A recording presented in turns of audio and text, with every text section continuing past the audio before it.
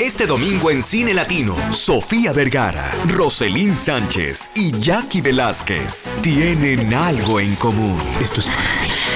A Eduardo Verástegui. ¡Sorpresa, papi! ¡Ah! Chasing Papi, un amante para tres. En Domingo Estelar, doble función de estreno. Domingo 4 de octubre, a las 9.25 pm, 6.25 Pacífico y a las 11 pm, 8 Pacífico, por Cine Latino.